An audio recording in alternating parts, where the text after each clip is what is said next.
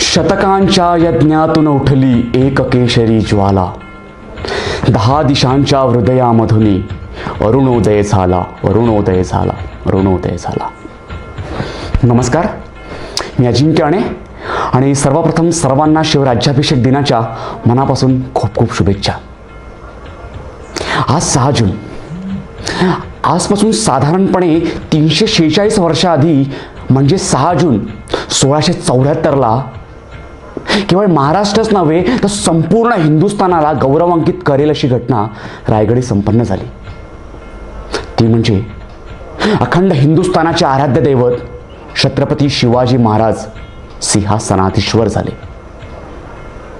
अवघ्या वयाच्या चौवेचाळीसाव्या वर्षी म्हणजे उण्यापुण्या तीस वर्षांच्या काळात सार्वभौम सिंहासन महाराजांनी निर्माण करून दाखवलं. महाराजांच्या जन्मापूर्वी हा सह्याद्री होता. त्यावरील गिरेदुर्गी होती. गमिनी कावा होता. शूर मसोदी होते सैनिक होते. धर्मपरायण प्रजा होती. थोर पंडित वर्ग होता. पण या सर्वांचा समन्वय साधून स्वराज्य निर्माण करण्याची हिंमत महाराजांच्या जन्मापूर्वी कुणीच करून दाखवलं नाही. या सर्वांचा समन्वय साधून स्वराज्य निर्माण करण्याचं स्वप्न ते केवळ आणि केवळ छत्रपती शिवाजी महाराजांनी पूर्ण करून दाखवलं. अवघ्या वयाच्या चौवेचाळीसाव्या वर्षी म्हणजे तीस वर्षांच्या सार्वभौम सिंहासनात महाराजांनी मुघल आदिलशहासारख्या पूर्वप्रस्थापित बलदंड अशा सत्तांना खिळखिळं करून सोडलं. अगदी सामान्यातल्या सामान्य व्यक्तीला सोबत घेत महाराजांनी असं काही असं काही अद्वितीय कार्य करून सोडले की त्याची पुनरावृत्ती होणं परत शक्य नाही. त्याच्यातून आपण प्रेरणा घेऊ शकतो. पण त्या इतिहासाची परत पुनरावृत्ती अशक्य आहे. महाराजांचं मोठेपण आपल्याला इथेच लक्षात येतं. महाराजांची कीर्ती इतकी प्रचंड बेफान होती की महाराजांच्या मृत्यूनंतर म्हणजे तीन एप्रिल सोळाशे ऐंशी नंतर साधारणपणे सत्तावीस वर्ष मुघल सल्तनतचा बादशहा औरंगजेब मराठा साम्राज्य जिंकण्यासाठी सत्तावीस वर्ष झुंजत होता. त्याने आदिलशाही संपवली. त्याने निजाम संपवले त्याने कुतुबशाही संपवली पण शिवाजी महाराजांचं साम्राज्य त्याला संपवणं शक्य झालं नाही. यावरून आपल्याला लक्षात येईल की महाराजांची कीर्ती किती प्रचंड बेफान होती. आणि छत्रपती शिवाजी महाराजांचा शिवराज्याभिषेक सोहळा ज्यावेळेला डोळ्यासमोर येतो त्यावेळेला डोळ्यासमोर येतो तो म्हणजे छत्रपती शिवाजी महाराजांचा या स्वराज्य निर्माण करण्यासाठीचा तो तीस वर्षांचा प्रवास. आणि आज तुमच्यासमोर छत्रपती शिवाजी महाराजांच्या शिवराज्याभिषेक दिनी तो तीस वर्षांचा स्वराज्य निर्माणतेचा प्रवास त्यांचा जीवनपट किंवा कालपट थोडक्यात सांगण्याचा तुमच्यासमोर प्रयत्न करतोय. इसवी सन पंधराशे चौऱ्याण्णव शहाजी महाराजांचा जन्म. इसवी सन पंधराशे अठ्ठ्याण्णव जिजामाता यांचा सिंदखेड राजा येथे जन्म. इसवी सन सोळाशे दहा जिजामाता आणि शहाजीराजे यांचा विवाह सोहळा संपन्न. इसवी सन सोळाशे तीस एकोणीस फेब्रुवारी. छत्रपती शिवाजी महाराजांचा शिवनेरी जुन्नर येथे जन्म.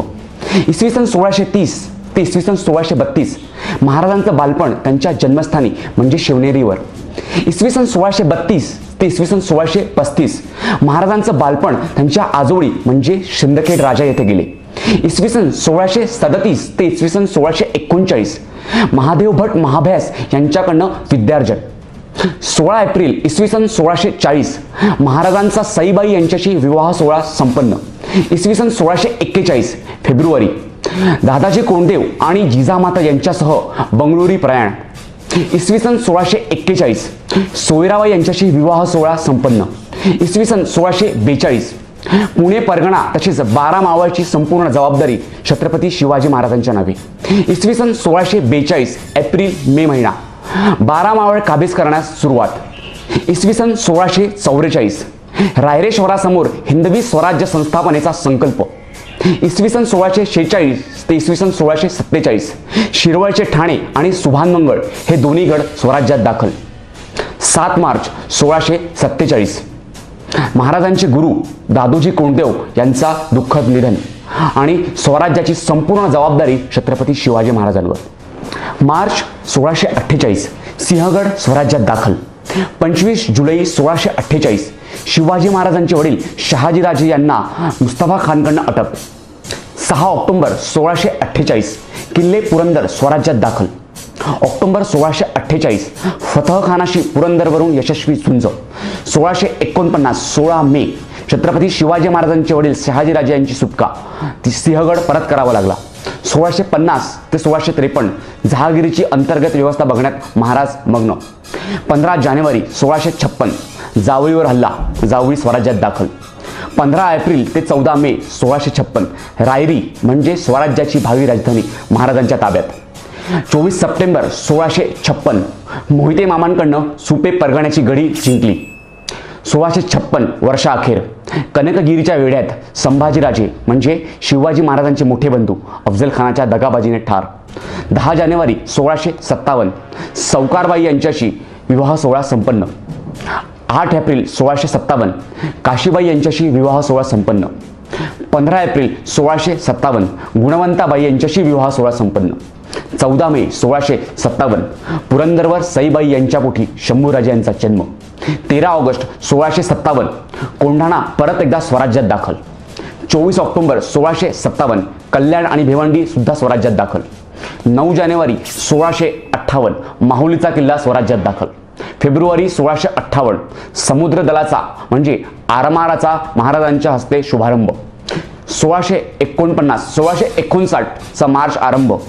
स्वराज्यावर सर्वात मोठं संकट. अफजल खान विजापूरवरून रवाना. अकरा जुलै सोळाशे एकोणसाठ. महाराज जावळीस आले. पाच सप्टेंबर सोळाशे एकोणसाठ.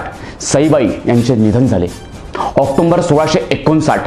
अफजल खानाचा वकील भास्कर कुलकर्णी महाराजांना भेटायला प्रतापगडी दाखल झाला. ऑक्टोबर सोळाशे एकोणसाठ. पंताजी वकील म्हणजे महाराजांचे वकील अफजल खानाच्या छावणीत दाखल. दहा नोव्हेंबर सोळाशे एकोणसाठ. अखंड हिंदुस्थानाला हादरवणारी घटना. जावळीच्या जंगलात प्रतापगडच्या पायथ्याशी दुपारी दोनच्या सुमारास अफजल खानाचा वध करण्यात आला. अकरा नोव्हेंबर सोळाशे एकोणसाठ महाराज वाईसाठी निघाले आणि स्वराज्याची तुफानी घोडदौड सुरू झाली. अठ्ठावीस नोव्हेंबर सोळाशे एकोणसाठ बघता बघता स्वराज्य पन्हाळगडापर्यंत जाऊन पोहोचले. पन्हाळगड काबीज केला. मार्च सोळाशे साठ सिद्धी स्वराज्यावर चालून आला. आणि स्वराज्यावर दुहेरी संकट. एकीकडे सिद्धजोहर आणि दुसरीकडे शाहिस्त खान स्वराज्यात दाखल झाला. मार्च ते जुलै सोळाशे साठ. महाराज पन्हाळगडाच्या वेळात अडकून पडले. तेरा जुलै सोळाशे साठ अखेर चार महिन्यांच्या कालावधीनंतर पन्हाळ गड्यावरून गुप्तपणे महाराज विशालगडाकडे रवाना. शिवा काशी त्याचा आत्मयज्ञ. चौदा जुलै सोळाशे साठ पावनखिंडीत बाजीप्रभू देशपांडे यांचा आत्मयज्ञ. अखेर सायंकाळी महाराज सुखरूप विशालगडावर पोहोचले. पंधरा ऑगस्ट सोळाशे साठ अखेर पंचावन्न दिवसांच्या संघर्षानंतर चाकणचा संग्रामदुर्ग शाहिस्ते खानाला जिंकण्यात यश आले. दोन जानेवारी ते वीस जानेवारी सोळाशे एकसष्ट उंबरखिंडीच्या लढाईत कार्तब खानाचा पराभव करण्यात आला. तळ कोकण जिंकण्यासाठी आगेकूच केली. मार्चचा पंधरावाडा सोळाशे एकसष्ट महाराज राजापूरला आले इंग्रज वखार खोदून काढली विजयदुर्ग आणि शृंगारपूर काबीज केला.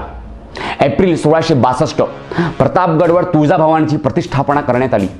सोळाशे बासष्ट ते सोळाशे त्रेसष्ट शाहिस्तेखानाची झुंज सुरूच होती. तीन एप्रिल सोळाशे त्रेसष्ट अखेर शाहिस्तेखानाला संपवण्यासाठीची पूर्वतयारी करण्यात आली. आणि सहा एप्रिल सोळाशे त्रेसष्ट पहाटे तीन वाजताच्या सुमारास लाल महालात घुसून शाहिस्तेखानावर हल्ला चढवला आणि त्याचे तीन बोटे छाटून काढली. सहा डिसेंबर सोळाशे त्रेसष्ट सुरतसाठी प्रस्थान करण्यात आले. चार जानेवारी सोळाशे चौसष्ट सुरतच्या सीमेवर महाराज पोहोचले. सहा जानेवारी ते नऊ जानेवारी सोळाशे चौसष्ट. सुरतची संपूर्णपणे लूट करण्यात आली.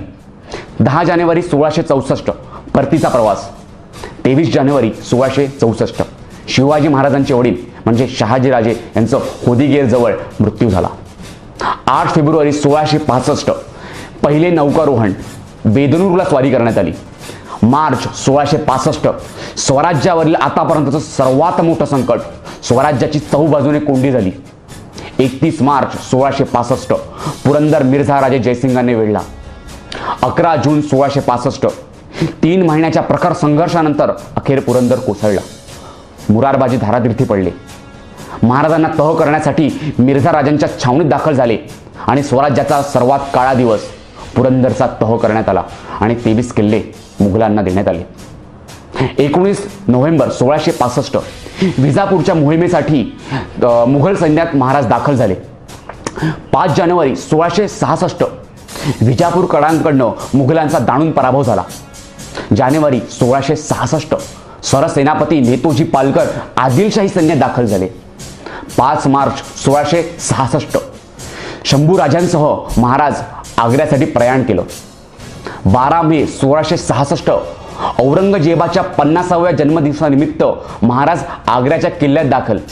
आणि सभेत झालेल्या अपनामा अपमानामुळे सरोप्याची वस्त्र लाथाडून मुघल साम्राज्याला मुघल दरबाराला पाठ दाखवून महाराज निघाले. पंचवीस मे सोळाशे सहासष्ट फौलाद खानाच्या नजरकैदेत महाराज कोंडल्या गेले. जुलै जून जून जुलै ऑगस्ट सोळाशे सहासष्ट महाराज आग्र्याच्या नजरकैदेत होते. सोळाशे सहासष्ट. महाराजांना संपवण्याचा औरंगजेबाचं कारस्थान महाराजांच्या लक्षात आलं. चौदा ऑगस्ट सोळाशे सहासष्ट. मिठाईचे पेटारे वाटण्यास सुरुवात झाली. सतरा ऑगस्ट सोळाशे सहासष्ट. अखेर महाराज आणि शंभूराजे मिठाईच्या पेटाऱ्यात बसून फरार झाले. अठरा ऑगस्ट सोळाशे सहासष्ट. पहाटे पहाटे मथुरेस पोहोचून महाराजांनी शंभूराजांना तिथेच सोडून रायगडी पलायन केलं. पंचवीस सप्टेंबर सोळाशे सहासष्ट. शिवाजीराजे रायगडी सुखरूप पोहोचले.